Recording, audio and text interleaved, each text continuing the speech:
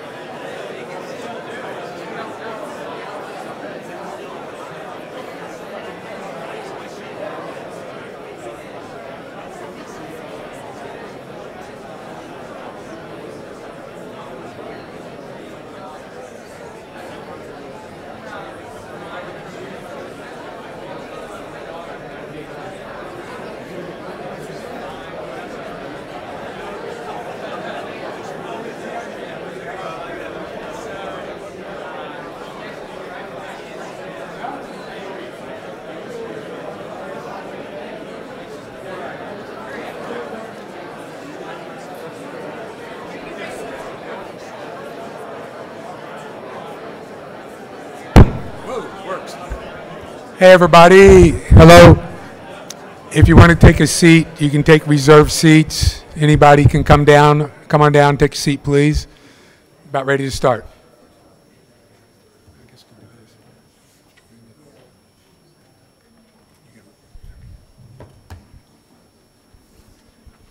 Come on down, these seats are open.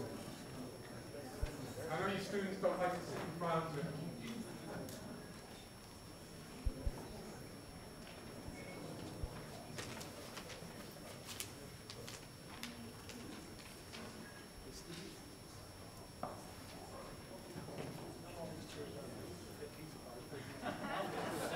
Got free pizzas for anybody sitting out front here.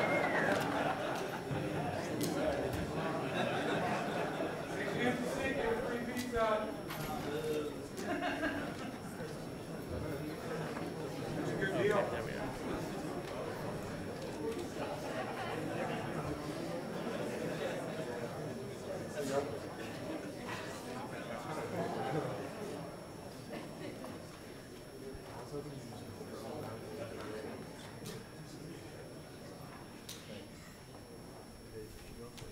Okay, I think it's time to get started. So, good afternoon, thank you guys for coming. Um, This is our inaugural event for the John H. Schnatter Center for Free Enterprise. I'm Steve Gohmann, I'm the director of the center, and um, looks like we need a bigger auditorium, which is okay. Uh, Anyhow, the mission of the center is to engage in research and teaching that explores the role of enterprise and entrepreneurship on advancing well-being. So engaging students in ideas may be the most important thing we do at universities. And I'm glad the center can be part of this. You guys should take advantage of all these events for the center, but all the events at the university to engage in these ideas. I think it's very important. So I'm going to do a little house cleaning first, advertising. We have lots of events planned for the upcoming year. Our next one is only two weeks away.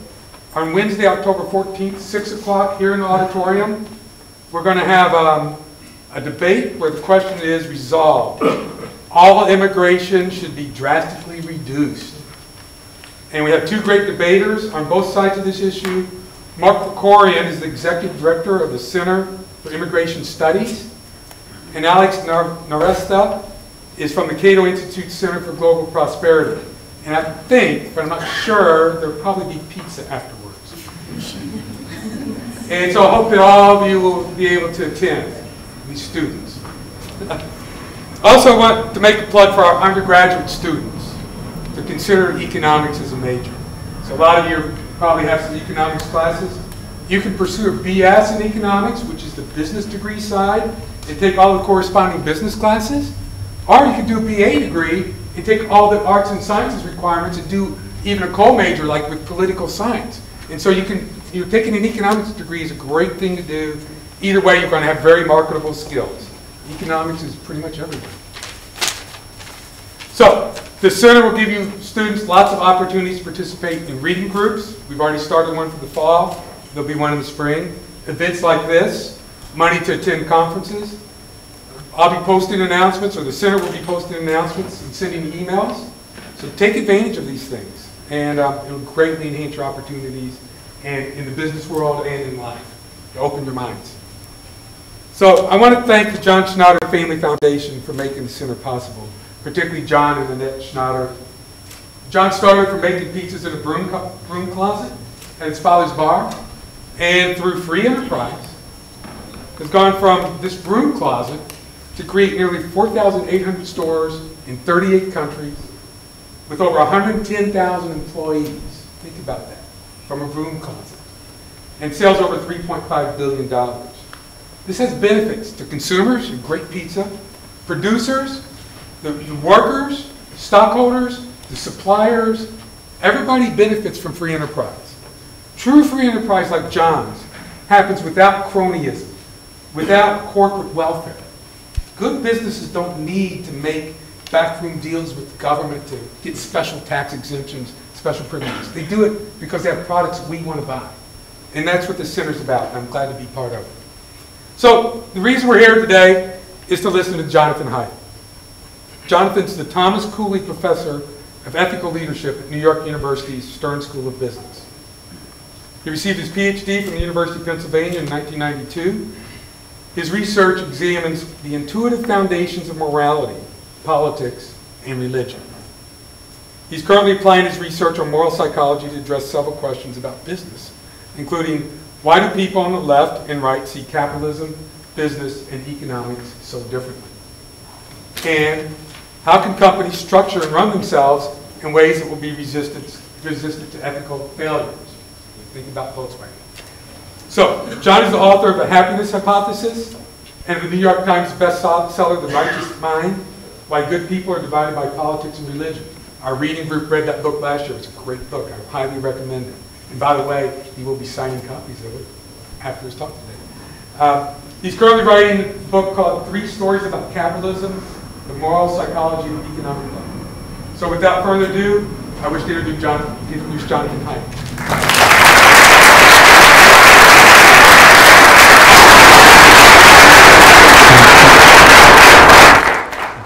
Well, thank you. Uh, thank you and good afternoon. And thanks for the, uh, for the warm welcome that I've already gotten from many uh, Louisville students and faculty. And I'm very pleased to be the inaugural speaker at the, uh, the Schnatter uh, Center for the Study of Capitalism.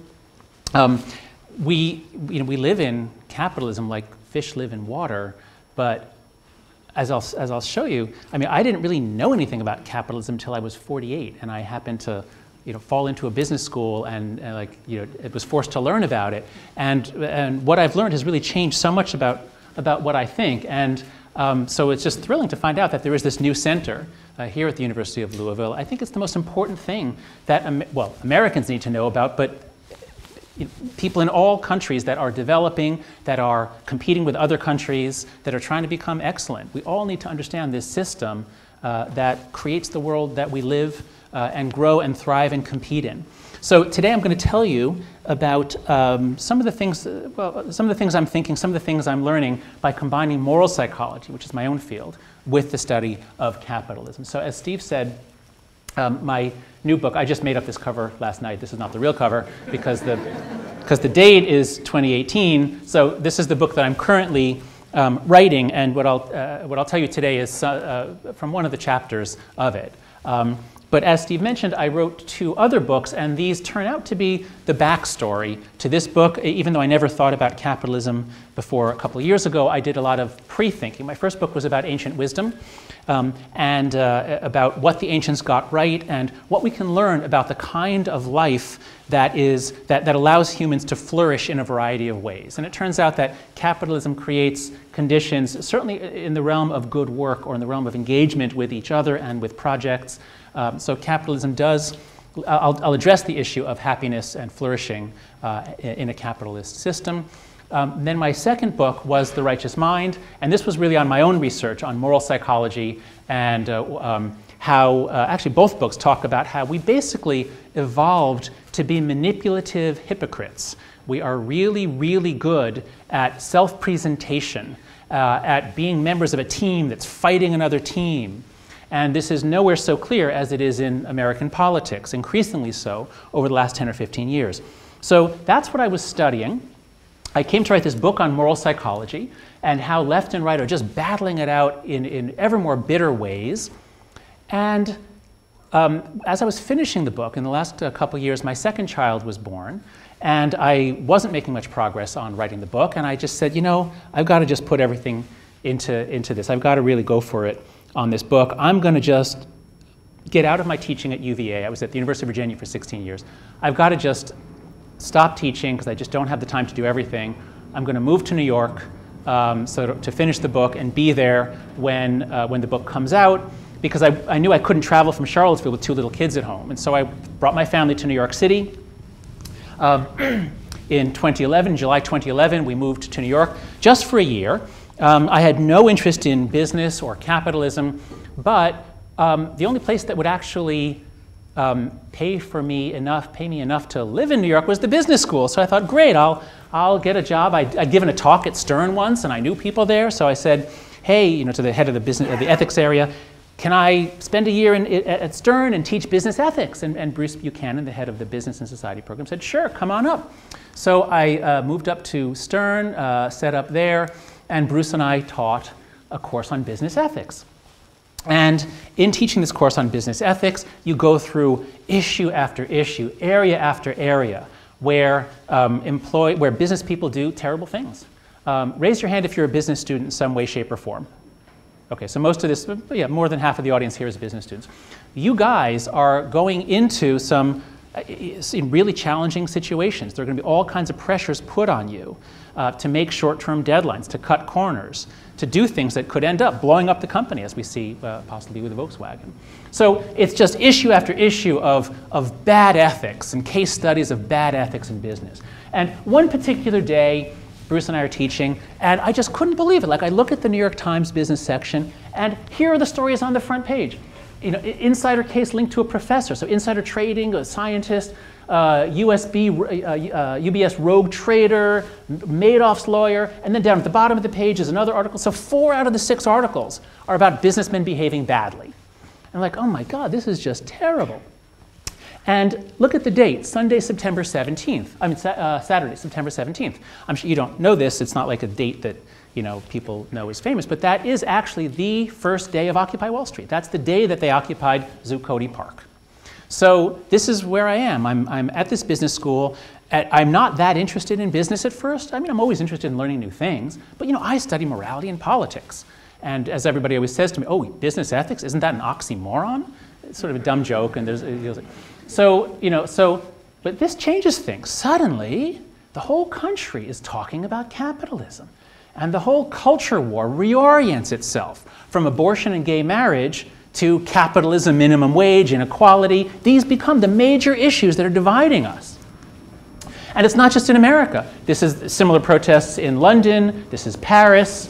Um, Inequality, everybody starts, uh, uh, talk, inequality becomes the central issue that people talk about. This is the sort of graph showing that the top 1% have reaped all the gains, just about all the gains since uh, 1979. Um, President Obama uh, starts saying that inequality is the defining issue of our time. Uh, the uh, um, many intellectuals and people on the left are basically saying that capitalism is broken. Everybody's thinking, what's the next kind of capitalism? This kind is not working. So this is the background um, that uh, when Stern then offered me a full-time position, they said, would you like to join the faculty? And I had to think, do I want to leave a department of psychology forever and become a professor in a business school? And it would never have occurred to me, but suddenly I thought, wow, this is pretty interesting. And this stuff really, really matters. And this is a puzzle. And if I didn't know anything about this till the age of 48, I bet a lot of people don't know anything about this. And this is something good to study. So, um, uh, so the, basic, the basic argument of Occupy Wall Street and, and certain groups on the, on the left is that capitalism is like a vampire squid wrapping its tentacles around the face of humanity, stuffing its blood funnel into anything that smells like money. Okay, that's a rough paraphrase of a quote from an article in Rolling Stone magazine. I didn't make that up. But the image of the vampire squid is a good image for one story about capitalism. Meanwhile, back at the ranch, so I visit Occupy Wall Street a number of times, but every time I come back to the business school and I attend any sort of event, there's our dean, Peter Henry, talking about creating value. And everybody talks about creating value. And when you're new to any institution, and especially the US military or a business school, there are a lot of buzzwords like creating value. And I didn't pay much attention. I thought it's just a buzzword. Um, but then I thought, well, let me learn more about capitalism. And I, I uh, bought a set of lectures from Professor Jerry Muller, Mueller, I'm sorry, his name is Mueller, who had written a book that was very influential on me when I was trying to understand conservatism. So I read this, uh, I, I listened to these lectures on capitalism, and it just opened, it just, it was just so amazed at what capitalism has done to transform life on earth. Um, so here's a quote from Voltaire. In the 18th century, uh, Voltaire, you know, French intellectual, goes to London, uh, the center of, of early capitalism, goes to the stock exchange, and he says, There you will see representatives from all nations gather together for the utility of men. Here, Jew, Mohammedan, and Christian deal with each other as though they were all of the same faith and only apply the word infidel to people who go bankrupt. Well, that's pretty interesting. That capitalism is a way to foster world peace and cooperation. As long as you don't go bankrupt, it doesn't matter what God you worship. um, Thomas Paine, the American essayist, described capitalism as a pacific system, pacific meaning peaceful or peacemaking. It's a pacifying system operating to cordialize mankind, to make people more cordial, more friendly, uh, by rendering nations as well as individuals useful to each other. There are many quotes from Adam Smith along this, these lines too. That when everybody's trying to sell either themselves as a laborer or sell their products, you have to be nice. It used to be if you want stuff, you can just kill someone and take their stuff, but not anymore. With trade, you can't do that anymore. Um, so I'm reading these, I'm, I'm, listening to these lectures, I'm learning about the incredible transformation in Europe in the uh, 17th and 18th centuries, um, and then I come across this graph. And this, I think, is the most important graph in human history. Let me walk you through it.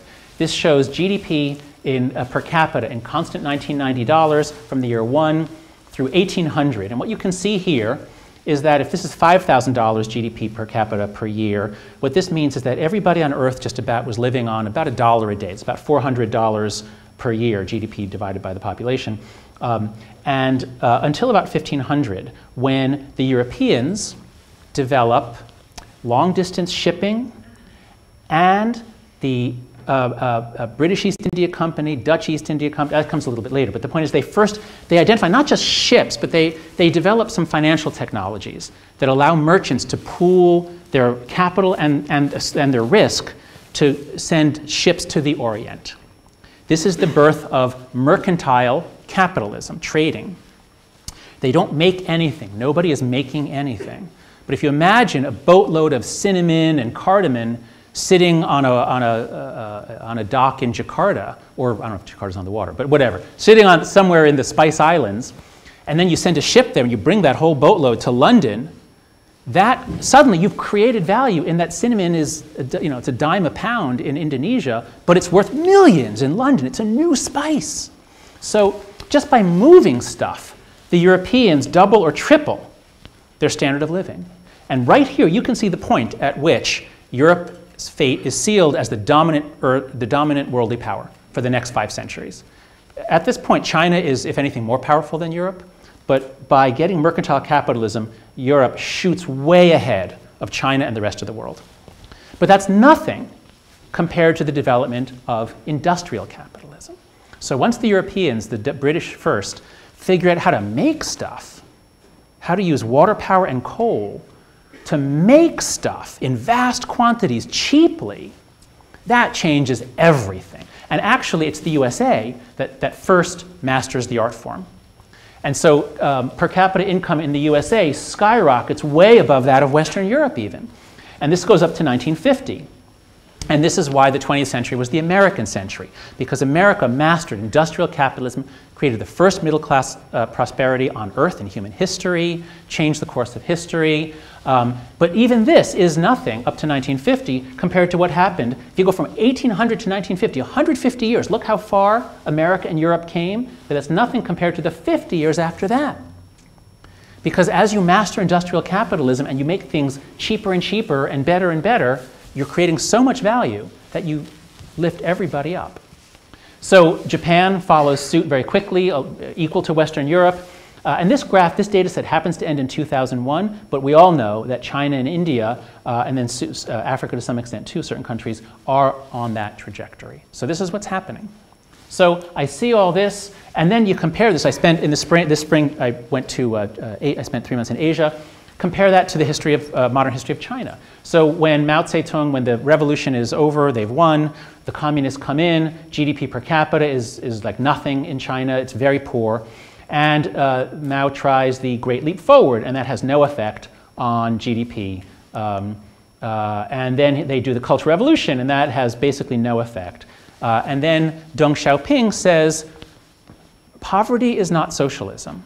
And they try something new. They allow a little bit of free trade in Shenzhen, in, the, in southern China, and look what happens. It works, and they let it go, and now we have a completely different world order in which China is back. You know, 5,000 year, year culture basically disappeared uh, for, uh, for a few decades. It was an unimportant country for a few decades, uh, but it's back thanks to, thanks to this. You can see it from outer space. You can see the transformative power of capitalism from outer space. In 1950, North Korea, South Korea, they're divided. Uh, they are no different from each other, same people, same culture, same wealth, same industrial base. Um, but now, if you look at it from outer space, um, there's a rather large difference. In the social sciences, this is what we call a very, very, very large effect size with a very, very, very small p value. This could not have happened just by random distribution of light bulbs. Um, so, um, so uh, and it's not just that it makes money for the rich. As you are lifting uh, up average wealth, you're actually decimating poverty. So in, 19, in 1820, 95% of the human population, it's estimated in this data set, 95% of all people on Earth were living in extreme poverty. Basically, it's near starvation level. Um, and as the Industrial Revolution progresses, uh, this begins to drop in, entirely because Europe begins, Europe and the West begin to drop. Um, but as uh, industrial capitalism and trade spread around the world, after the Second World War, the drop speeds up. It's plummeting now. Poverty has been plummeting around the world for decades now, and it's estimated that we, while we won't reach zero, we're going to be in single digits within 10 or 20 years. And this is just stunning. So the point is um, that capitalism doesn't just make the rich rich, it also reduces poverty and it also increases happiness. This is a map of how happy people are on average in each country. Uh, and actually, as a first approximation, it's a measure of GDP or GDP per capita. Latin America is always happier than its wealth would predict because of certain aspects of Latin American culture. It's very sociable. But otherwise, this is GDP really actually matters for human happiness. So, um, I'm sorry, oops, so um, to sum up, what should we make of capitalism? Is it a vampire squid um, or is it something else? I just Googled, if you just Google capitalism uh, for an image search, this is one image I found which I kind of like here. So it's uh, this. It's capitalism, it just works. Um, so which, which is it and how can they both be true? Well, they can both be true. There are elements, they each tell a different story, and both of those stories are true in many, many ways. And the reason why they, these stories are true for so many people and they are mutually unintelligible is because America is becoming increasingly divided left right, and a big part of that divide is over capitalism. So, this is Pew data, the Pew Research Center. Um, they surveyed Americans, and those who said that they were both liberal and Democrat, which increasingly are the same thing, um, they are ambivalent about capitalism, whereas people who say they're conservative and Republican are 66% positive. So conservatives are very positive about capitalism, the word, the concept. Um, liberals in this country are evenly split, they're ambivalent.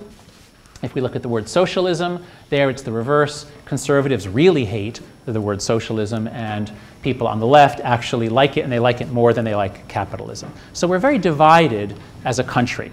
And and when I saw this, when I started looking at how people think about capitalism, what I realized is that we are devolving into two separate worlds. Left and right in this country live in different worlds. We have different climate science, we have a different US Constitution, we have a different US history. We live in different worlds. And as a social psychologist who studies morality, this really interests me. My favorite quote in all of the social sciences is this line from the anthropologist Clifford Geertz, who wrote, that uh, man is an animal suspended in webs of significance that he himself has spun. That's what's really unique about us. It's not that we have two legs or bipedal, you know, or you know, vision. It's that we have this ability to create cultural webs. We can manufacture meaning out of nothing, and then we live in it, and that becomes our world. And so we've made two separate worlds, um, and they both have very, very different stories to tell about capitalism. Basically, what Geertz is saying, and he wrote this before any of the Matrix movies or novels, um, is that we, we live in the Matrix. Uh, those of you who've seen the Matrix movies, the Matrix is a consensual hallucination. The left lives in one consensual hallucination, the right lives in another consensual hallucination. They both can see certain aspects of reality, but not other aspects of reality. And as I spent more time at Stern and began studying capitalism and began talking about it, this, I began to see two very clear storylines, and I decided it would be fun to, to animate them, to actually turn them into videos. So I created, I, I hired a video company, I wrote the script, and I'll just show you um, two stories about capitalism. I'd like you to just watch them, listen to them, and just see which one resonates with you, which one feels true or right. Here's the first. Once upon a time, Work was real and authentic. Farmers raised crops, and craftsmen made goods with their own hands. But then, capitalism was invented, and darkness spread across the land as the smokestacks of the Industrial Revolution covered everything in soot. The capitalists became ever more skilled at extracting productivity from workers and pocketing the gains from their labor. The workers eventually fought back by unionizing. In the early 20th century, as the brutality and stupidity of capitalism were exposed, many governments granted workers some protection from the predators. Democratic welfare states were born. But the capitalists and their right wing cronies were unrelenting. And in many countries, they have destroyed the unions, slashed regulations, and given the corporations free rein to exploit at will. So, the rich get richer, the rest of us get poorer, our democracy gets weaker, and the planet gets hotter.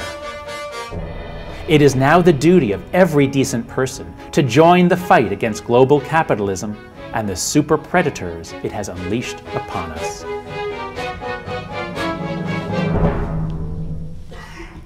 Okay, so that's a coherent story, right? That all makes sense. Okay, now let's have a different story. And you'll notice that this second story has exactly the same structure. I wrote out, before I wrote the text, I wrote out the story structure with different slots, and all I did is change the content in the slots, but they're identical in their overall structure. Once upon a time, almost everyone was a peasant, a serf, or a slave. Kings and feudal lords took most of what people produced, so nobody had much reason to work hard. But then, in the 17th century, capitalism was invented and the liberation began. In England, Holland, and America, they discovered that when you give people property rights, the rule of law, and free markets, you turn on a switch in their hearts. People want to work when they can keep the fruits of their labor. They want to invent new products, provide for their children, and be useful to others. Free market capitalism enables them to do these things. In the 20th century, some countries embraced communism and centralized planning, always with the same result shortages of everything, including food and freedom. But countries that embraced capitalism have grown prosperous in a single generation.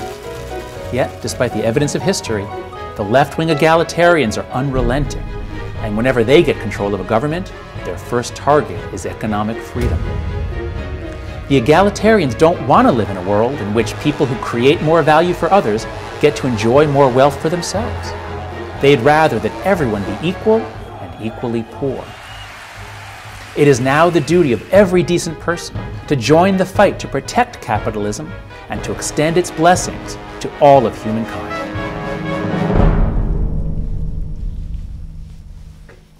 Okay, so they're cartoons, but which cartoon do you like better?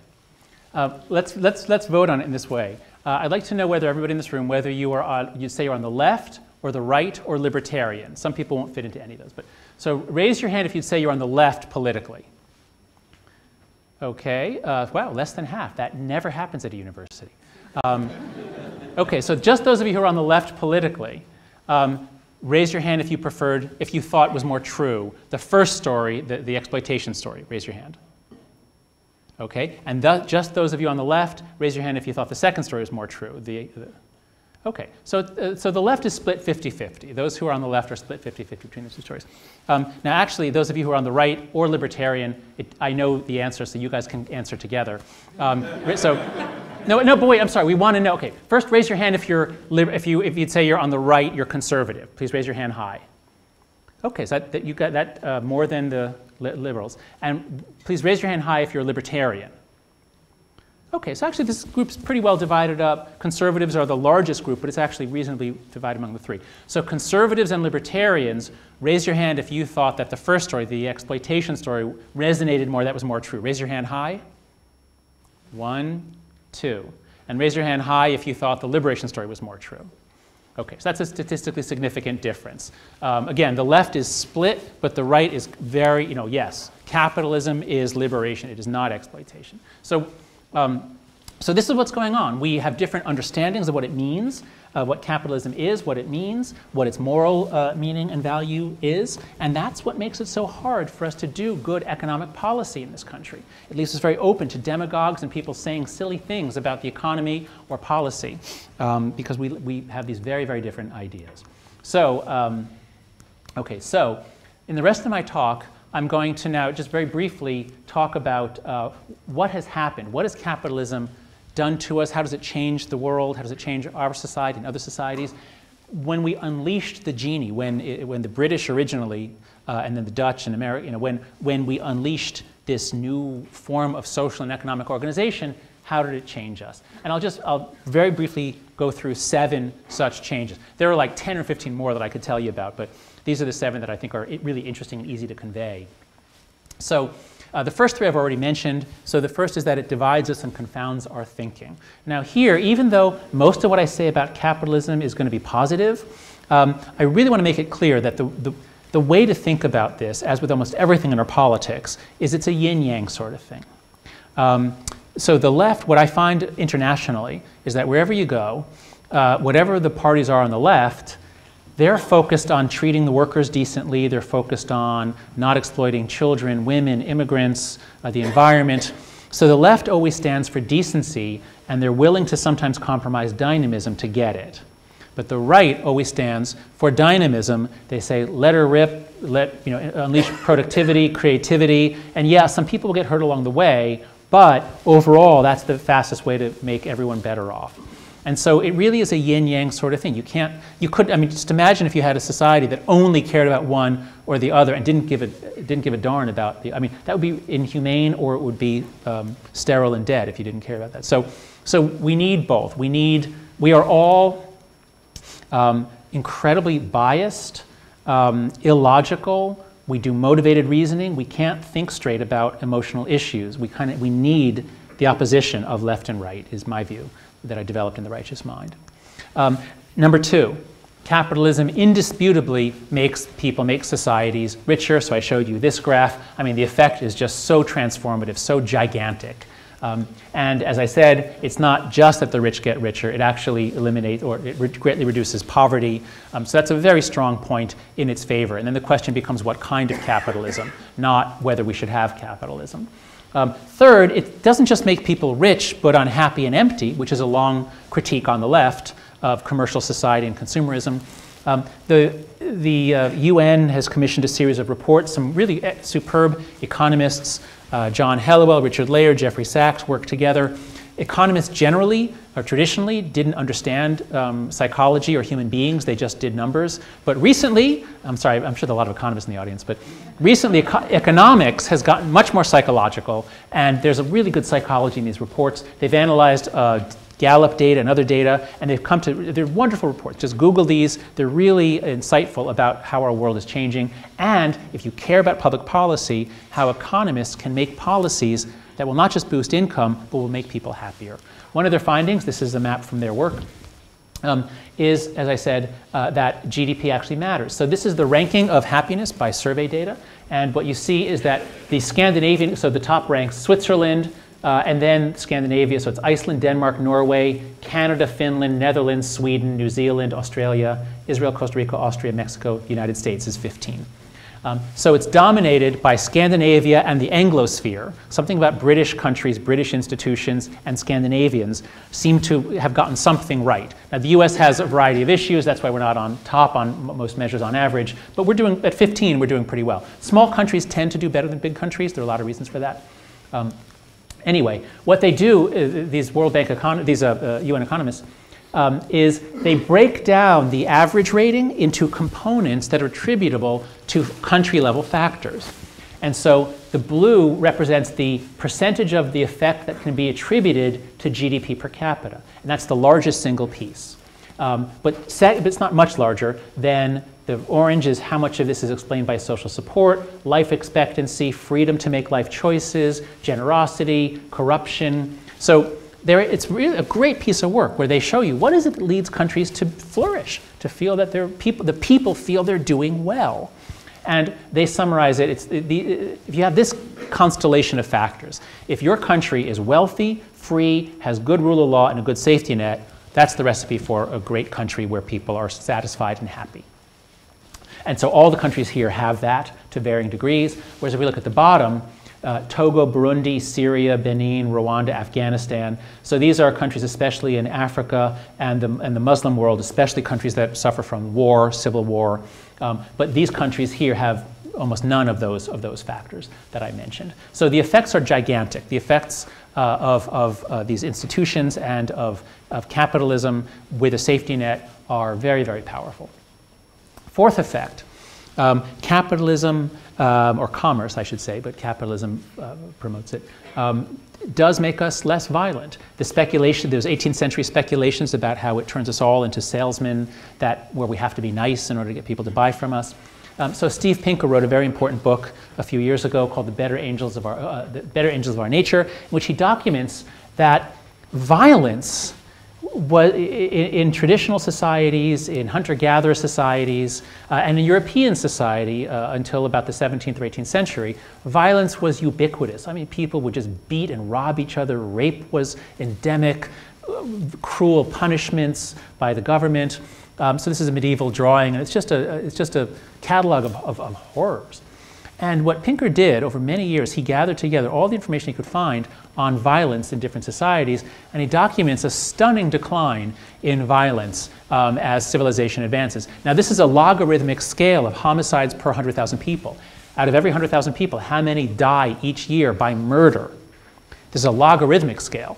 So uh, traditional societies, hunter-gatherer societies, it's, you know, it's in the ballpark of 100 out of 100,000. So, you know, especially for men. So lots and lots of men in particular are murdered every year in pre-state societies. Once you get civilization, um, it drops down, um, uh, and this is data now for Western Europe. So this would be about 30 or so. It's hard to estimate on a log scale, but about 30 per 100,000 in the 14th century and it goes down. But as economic development proceeds, as Europe uh, gets wealthier, as capitalism and democracy begin to flourish, um, this, it doesn't look like it's plummeting, but it's going from 30 to 1. So murder drops by about 97% in Western Europe. Stunning, stunning, stunning effect. Several causes, but Pinker cites one of the five or six major causes is commerce. And again, he says you know, when you had a feudal system where you could, you know, groups would, or, or lords would battle each other and you'd have a lot of war to get stuff. If you think about society as a fixed pie, he's got a big piece, I want some of his piece, I'm going to fight him to take some of his piece. But capitalism changes everyone's thinking into a growing pie, and so you, you don't, you're not successful by taking someone else's, you're successful by figuring out a way to grow the pizza pie, as it were. Um, so, um, so that's the fourth point. Capitalism basically makes societies less violent as it uh, hooks them into trade. Uh, fifth point, it leads to inequality of outcomes. This is the, one of the major criticisms of the, of the left, and there's an enormous amount of truth to it. Now, the story is complicated, but it is, I can't imagine a way that a capitalist society could lead to equality. It, it just could not happen that people end up with the same amount of, of resources. Um, so Thomas Piketty, of course, rocketed to, to, to fame and success in the US with his book on inequality. His basic thesis is that whenever the return on capital is higher than the average, which is this purple line, say, you know, four, historically going back to the year zero, roughly, he estimates people could make four to five percent on their money. Um, and with fluctuations. Uh, and this is the rate of growth. And as I showed you, things didn't grow until you get capitalism. So things aren't growing um, until you get capitalism. And then there's this interesting period between, uh, from the end of the First World War through about 1980, there's this brief period where the rate of growth is skyrocketing and it's actually higher than the return on capital. So this is the great period, the glory period of American capitalism, when all boats were rising and the working class was actually rising faster than the rich. And so this is a very appealing uh, period to people on the left in particular. Um, it's called the Great Compression. There's a so you have very high, this is the share of the uh, top let's see, the share of top decile in national income. This is how much the, the top 10%, the richest 10%, what percentage of national income do they take home every year? And historically, or the 19, in early 1900s, it was about 40 to 50%. And then you get the great, you get the great, well, you get the Great Depression, you get the Second World War. Um, you have this long period from the 40s through the 70s where actually the, the top decile doesn't control a vast percentage of the But beginning around, the, around 1980, that changes, and this is the period where we are now. So the basic argument of, of Piketty and many others um, on the left is that capitalism briefly looked promising as a way to lift all boats, but now it's back to its old tricks. Um, and uh, so, how many of you? So, of course, we know that capitalism makes the rich richer. Um, what do you think it does to the poor? If you, if you look at the bottom 10% in the 1970s and the bottom 10% now, do you think that the poor have gotten poorer, or stayed the same, or gotten richer? Raise your hand if you think that the poor have gotten poorer over the last 40 or 50 years. Raise your hand. Raise your hand if you think they've stayed the same. And raise your hand if you think the, if they think the poor are richer than they used to be. Okay, so again, this is the most, the most right wing audience I've ever spoken to at a university. It's not surprising, but in any normal department at a university, people would be convinced that the, that the rich get richer and the poor get poorer. And so many people have seen versions of this graph. This shows the top 1% goes up, the lowest quintile goes down from 1979 to 2007. But here's the point we are all so biased and partisan, including social scientists, that we pick our assumptions and our graphing techniques to get the story we want. So this graph does show that the poor went down, but that's only if we graph their percentage of the income. So it is true that the poor command a smaller percentage of the pie than they used to. But the pie has grown so much that if we actually look at absolute terms, corrected for inflation, of course, but if we look in absolute terms, actually the rich have gotten a lot richer, but the poor have gotten richer too. So uh, this is after, after you uh, take into account the effects of taxes and government transfers. Uh, the, so the top 1% are the ones who've really gone way, way up. That is undeniable. Um, but look, here's the bottom. Here's the bottom uh, 20%. They're 40% better off, inflation adjusted, than they were in 1980. Whereas the top 10%, excluding them, so uh, the, the top 20%, excluding the 1%, is 65. So 65% better off versus 40% better off. That's not so bad. Everyone's getting richer, and the rich are just a little bit richer. But the very rich, wow, they are a lot richer. And there's a lot of reasons for that, especially globalization, winner take all. I mean, there's a lot of reasons for that. We could, we could talk about that later. Um, but my point is that facts, increasingly, as we get more and more polarized, facts depend on your politics. And this is true for social scientists, as it is for lawyers, as it is for, every, for everyone. So, um, is inequality rising rapidly or very slowly? I can't tell because when I listen to economists on both sides, like they can both make their case. Um, if it's rising, is it due to various macro trends or is it due to corruption and crony capitalism? Um, does inequality foster all these terrible uh, uh, outcomes, as Wilson and Pickett and other scholars maintain on the left? Um, or others on the right say, no, actually, it's, it's, it's not very pernicious and it fosters more innovation. Would raising the minimum wage reduce inequality? Well, that depends on your politics. Economists don't agree on basic facts, like how big is the disemployment effect of raising the cost of, of uh, unskilled labor. So, this is a very serious problem for us as a country. Our experts don't agree on basic facts. So, I hope those of you who do go into any sort of policy analysis, you'll take this with you some humility about the fact that our politics biases our research. Um, sixth point capitalism changes our values, and it's bringing us into ways of living that people have never lived in before. We don't know what's going to happen. It's exciting in some ways, but it really is uncharted territory. Let me explain.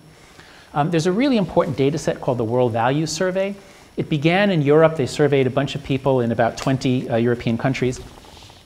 Um, but they quickly realized, wow, this is powerful stuff. They expanded it globally. Um, it's now up to 95 countries. About every six or seven years, they collect data uh, from about 1,500 or 2,000 people in each country. So they have a snapshot of the world's values over several decades. And we can see how things change. It's really an extraordinary data set. It's all available online. Just Google it. You can download the data yourself. What they find is that if they graph each country, just take the average score for each country on their questions about uh, the role of women or religion or democracy or capitalism or freedom, everything. And you do a, a, a multidimensional scaling, a statistical procedure to just put countries together that have similar responses. Here's what you get. Um, so what this is, I'll just, you can't read the na country names, but um, down here in the bottom left, we have the, the African and Muslim nations. Um, up in the upper right, we have the Scandinavian countries, Protestant Europe. Um, the US is actually over here, and the English speaking countries are over here. The Chinese countries, the Confucian countries are up here. So, what does this all mean? The way that, they, that the authors interpret these two axes is as follows. um, there's the, the horizontal axis is the most important one. When life is dangerous and you can't count on your retirement savings. In fact, you might be dead tomorrow if you know hordes of barbarians sweep in from the steppes and take everything, as was the case for much for human civilizations for thousands of years. You're just focused on survival. Um, you don't care very much about personal freedoms. You just want to uh, uh, keep yourself safe. If you have some money, you're going to bury it in the backyard. Um, uh, um, so that's uh, whereas when things are safer, then suddenly people start caring about freedom. They have more emancipative values. They want democracy, they want rights, they begin to care about the environment, about equality, about human rights. Um, the other dimension is uh, traditional to secular rational. Traditional is religious, um, uh, oriented towards the past. Secular rational, you begin to, st- you, you, stop doing so much ritual because ritual is very time consuming. So to, the best way to think about it is like this um, countries don't just go from the bottom left to the upper right. Rather, what world history has been is a movement in two steps. So start here. All countries, just about, were agricultural. Agricultural societies tend to be very religious. They have traditional values. You have to do things in an orderly way, the way our ancestors did them. Uh, so you have traditional values, and you're always subject to drought, to invading armies. So life is dangerous. Um, so the values of agricultural societies tend to be in this quadrant. But once you get industrial capitalism and people leave the countryside and go into the factories, that's what happened in England in the, 18th, in the 19th century, um, and that's what's happening in China in the last 30 or 40 years. As everybody was moving to the cities and moving into the factories, you get a transition from agriculture to industry, and you get what are called materialist values. They put aside religion, everybody wants money. Money, money, money. And it's really ugly. Um, I spent three months traveling across Asia, and as far as I can tell, um, um, if you just go to the big cities in Asia, it seems like you know they're owned by Louis Vuitton and and uh, uh, uh, uh, you know Henri Bendel. I don't even know. I mean, there's like I didn't know that there were so many luxury brands in the world, but they're in every like every street corner uh, in you know in, in Singapore and Shanghai and, and Kuala Lumpur. Um, it's really materialist. And this has always bothered people on the left and artists about what capitalism does. It creates this fever for luxury goods, and people work and work and work to buy extravagant, useless uh, objects. So I think it's this move that gives capitalism a bad name all around the world, because this is kind of ugly. But if you just wait a couple generations, or now in Asia, one generation, what happens is you get a transition from industrial to a service economy. And now, what virtues and values do you need? It's not just about fit into the machine, show up on time, do the same thing over and over again. It's now, okay, you're the sales manager for this new brand. What are you going to do? And you have to know how to deal with people. You have to be friendly. You have to know psychology. So the values change, um, and you get what they call post materialist values. And here's their wonderful summary of it. This is a great book that I'm reading now by one of the authors, Christian Welzel. Pro- when you have prosperity and security, you get what they call these emancipatory values. You get a movement to the right on that graph. And here's the, here's the great quote fading existential pressures, that is, you're not afraid of dying anymore, you're not afraid of war and famine. When, that, when those pressures fade, it opens people's minds, it makes them prioritize freedom over security, autonomy over authority, diversity over uniformity, and creativity over discipline. People also become more trusting, happier, as you saw in that, in that world, the, the, the, those, those uh, maps. So, this I found in my trip across Asia. Boy, this theory just worked so well to explain what is going on. So, I was especially in a lot of the, the Confucian countries. So, here's what's happened. So, um, you know, everybody wanted to know, like in Korea and China and Hong Kong, like what's happening to us? How, are, how is our country changing? And the general trajectory is like this Japan is so amazing. Japan industrialized more than a century before anyone else in Asia. I mean, they were a closed society, and the instant they were opened up uh, by Admiral Perry and the, you know, the US Navy, like the instant they were opened up, they figured out how to do industrialism, they had railroads. So Japan is way ahead of the rest of Asia in its industrialization.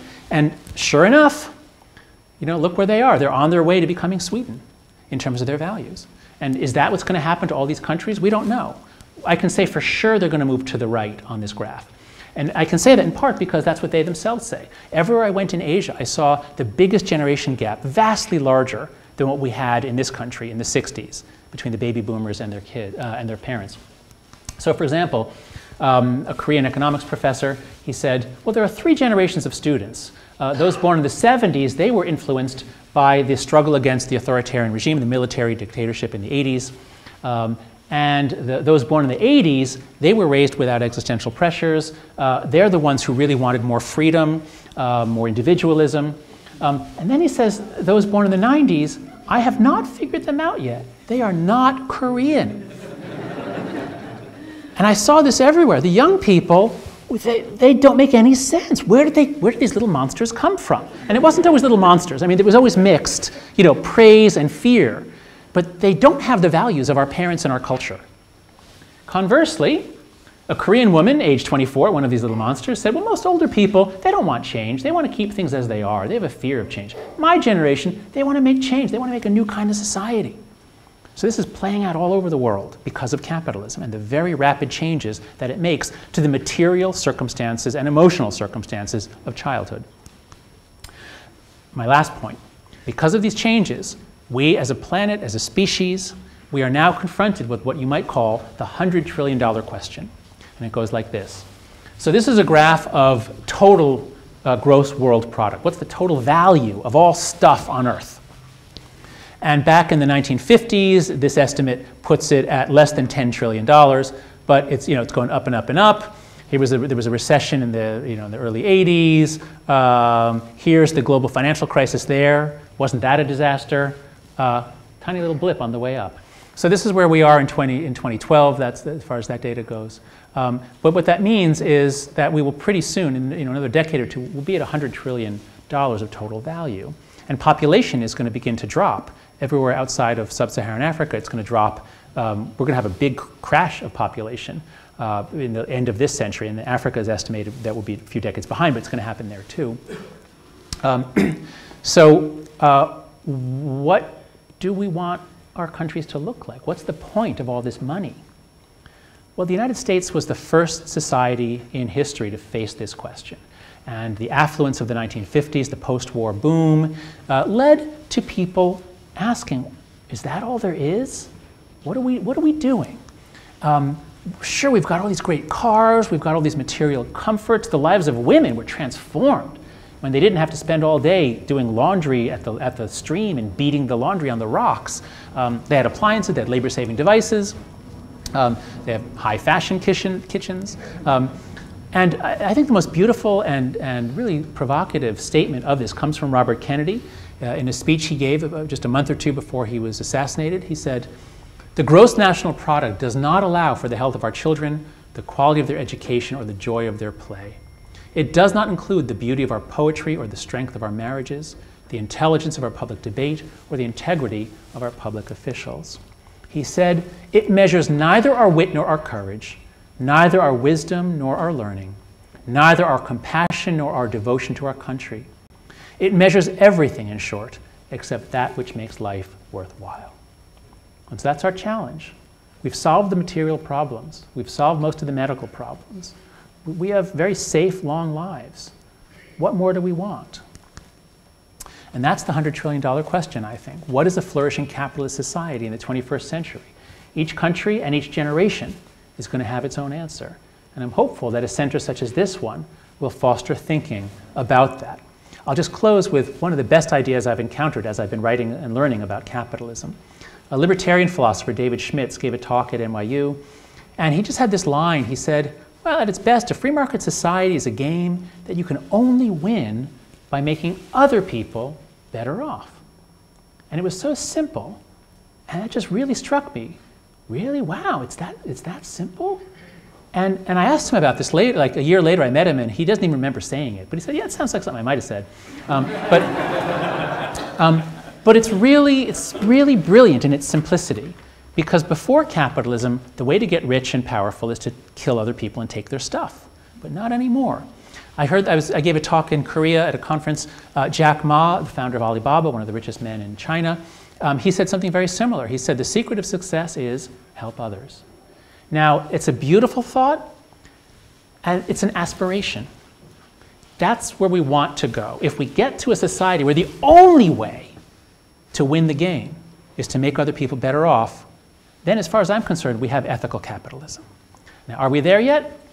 Let me show you the car I bought four weeks ago. And I bought it precisely because, precisely because it had everything. I couldn't believe that you could get everything in one package. So we are not yet. Um, I mean, this isn't literally my car, but I bought that model in white. um, so we're not there yet. Um, it is still the case that you can get ahead in a lot of ways by making other people worse off. Now, then that's why you need government regulators, you need the EPA. The Europeans couldn't do it themselves, they were too corrupt.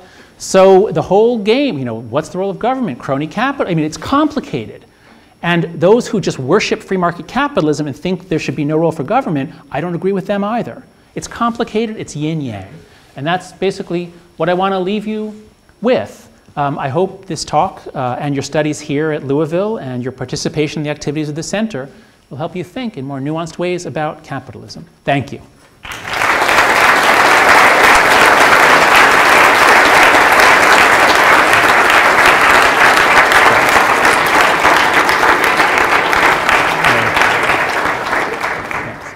So John, will take a few questions. Okay? Yes, Nat.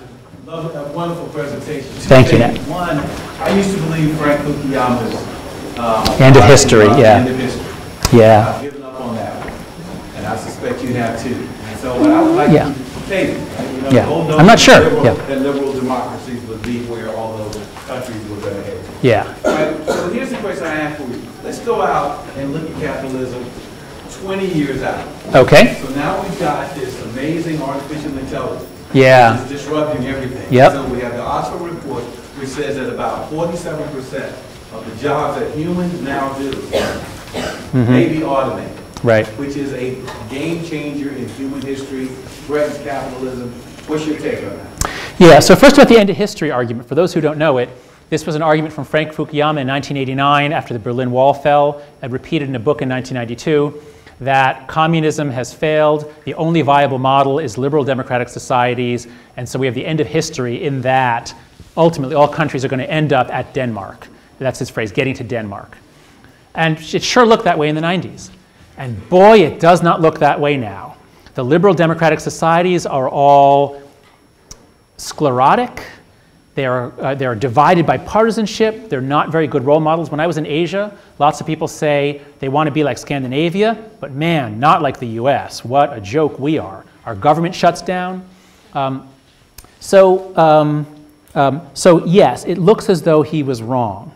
On the other hand, he might have been right in that if you buy this view, and I do, that all of these countries will eventually move this way, then you kind of come back to Fukuyama's point that even if it takes 100 years, eventually everyone's going to care about women's rights, gay rights, individualism, rule of law. So we might still get there, we just don't know.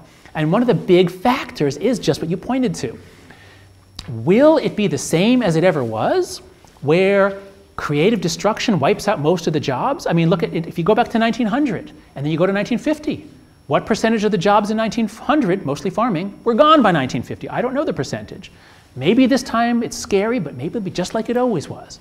But maybe it won't. And AI does scare me in that respect because, you know, there always were jobs for manual laborers, and there may not be in the future. So I don't know what's going to, I don't know. But that's, that's the question that our younger people are going to have to figure out. Okay, in the back row, yes. Hi, um, could you pull up the GDP graph that you said is the most important graph of Sure. the industry?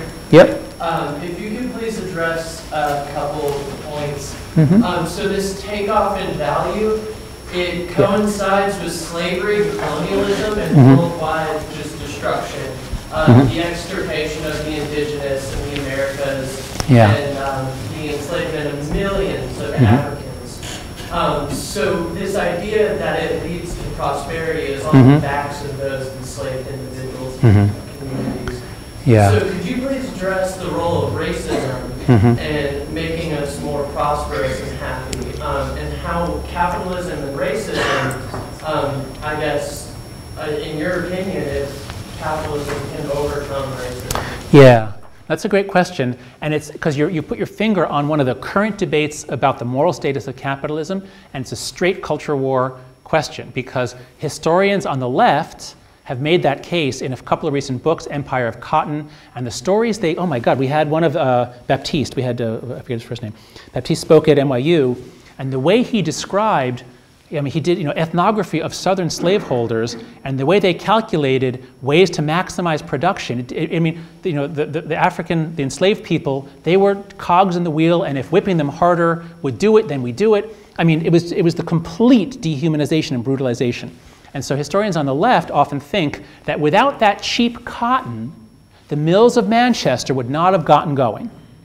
And historians on the right say, no, yes, it happened, but if it hadn't been the cheap cotton from there, the cotton would have been a little more expensive, but it still would have happened. I, am not a historian, I don't know the truth. What I can say is that even if the Western story did involve the massive exploitation of, of, of non white people, um, especially in the Americas, taken from Africa, even if that was part of the Western story, I don't think it's essential to capitalism because look what's happening in Asia.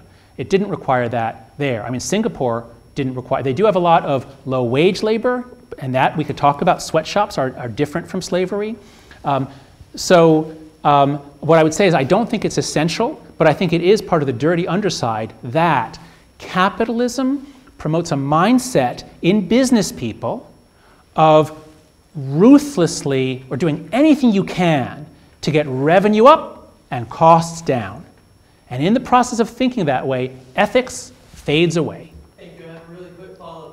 Okay. Uh, that Robert Kennedy quote, yes. like with this graph, it doesn't measure dead land, dead water, mm-hmm. our, the, the unhappiness of not only human beings but ecosystems. So yes. So here we have right. So right. So here we have what's called the Kuznets curve because that's so. If you look at the most polluted places on Earth, none of them are in capitalist societies. They're in Russia. They're in uh, Middle Eastern societies. Um, so both for the slavery issue and the environmentalism issue, I can say the same thing. Um, early in the process of industrialization, people don't care about human rights. They don't care about the environment. And that's what we see in China. I mean, they really, you know, prosperity, you know, prosperity at any cost. We don't care about the air. But then their children really do, and their grandchildren really, really do. Same thing with slavery. Slavery ended because of moral objections among the British. Now, the British of, of, the eight, of, of 1700 probably didn't care very much. But by the early 1800s, they really did care. So, this process of as capitalism makes people richer, they get these emancipative values, and then they say, What the hell are we doing? What are we doing to Africans? What are we doing to the environment? So, that's one of the central and interesting and I think wonderful contradictions of capitalism is that early on, yes, you can link it to environmental destruction and racism and slavery. But by its very nature, it changes people's values so that, so then they renounce it. And ultimately, we're all better off, but yeah, there's some awfulness along the way. Just bear in mind, there was awfulness everywhere, all along the way, whether you were capitalist or not. So it's not as though, it's not as though people were noble savages or peaceful, and then suddenly capitalism made them brutal. So it's, it's, it's complicated. Okay, yes? Why the tick up in the murder rate? Excuse me? Why the tick up in the murder rate? Um, I believe that's from leaded gasoline. Seriously, we, we dumped hundreds of millions of tons of lead into the air, and lead is the biggest disruptor of neural development. And so crime rates skyrocket um, uh, 20 years later. And so post war America, everyone, all the kids become lead poisoned, especially in cities. So we get a huge rise in crime in the cities. Um, and then when you, New York City bans leaded gas in 1977, um, crime begins to plummet a year before Giuliani gets into office. But everybody thinks, oh, it must be Giuliani. And then three years later, it plummets everywhere else in the country because New York banned lead three years before everybody else. So, you know, this is not settled, but I believe, after reading about this, I believe leaded gas caused this incredible tick up, and now it's plummeted and nobody knows why. Leaded gas is the only thing that explains the up and the down. Uh, let's see, any students? Uh, are there students with questions? Okay, yes. You did a lot of studies on uh, developed societies, Mhm. but, uh, and post-imperialist societies as well. I was wondering if you've done any, um, I guess you would say pre-materials, like uh, Amish communities, for example, Mhm. and how how the community interacts with one another, How they what? Interact with, within their society and, and Yeah. their relations to the environment as opposed to reaching the emancipation stage. Yeah. Um, I've done very little of that. I did spend three months doing research in India um, when I was a postdoc. Um, for this book, I'm not, I don't, because I have kids at home, I don't have time, I'd love to go everywhere, but I'm focusing on societies that are good models for capitalism in the future. So I'm not looking at pre industrial societies for this book. Um, obviously, this is one of the issues that traditional societies all face is the destruction of their old ways because no matter what they do, their kids want Levi's and Walkmen. That's what it was when I was, you know, in the 80s. Now it's iPhones and whatever, you know. So, so these new ways, so capitalism creates a consumer mindset, which is like a drug. It's seductive. It lures young people away from traditional values. And I don't know how the Amish are coping with it. Um, I don't know how successful they are in, in, in keeping out those lures, but those are all good questions. I, I just don't know the answer. Okay, do we have time for one? Is that, okay, one more question? Okay, yes, over here. In your analysis, you compare the capitalist and communist. Yes. Uh, I have two questions. I would like to know if you consider that the socialist and capitalist is the same. And the second question is, no. What, uh, what would you prefer, socialist or capitalist? Um, so, I, I, you know, I th- so right, so what's the, you know, there's communism, socialism, capitalism. What, what do I make of socialism? Um, uh, it's a very, it's a term that people use in so many different ways. Um, certainly, the, the communist countries all call themselves socialist, and if the key thing is the role, the, the, the degree to which the government controls or regula- controls the means of production, um, that's part of the definition of capitalism. If it, the government basically doesn't control the means of production and it lets, let it, you know, just let it rip, let, let, let economic freedom, let people decide what to do, that's capitalism. Um, so if that's the dividing line, um, then it becomes a value judgment how much control you want. Um, I think Norway and Alaska give us a nice example of how maybe it makes sense to say that the vast reserves of oil in the ground belong to the people. Why should we just sell those property rights for pennies because of kickbacks? okay, so, so I think there are examples where I think the, you know, um, the, the, the experience of different countries, the world is now a laboratory, and it really can show us what works. Um, if you'd asked me a year ago about authoritarian capitalism like China, where it, it's, it's, the government controls a lot, we would have said, well, maybe it, maybe it works pretty well. You know, it's really going up. But of course, it has all kinds of, of inefficiencies, as Hayek and others pointed out. So I think you'd have to look at all the different countries. What I would say is that um, capitalism with no government controls, constraints, regulations is going to have all kinds of problems and brutality and missed opportunities. Um, but because of our ideology, we end up, you know, when you start regulating things, you often end up with all. I, I don't know. I've got to figure it out while I write the book, basically. I don't know yet. So, okay. Thank you very much for your attention.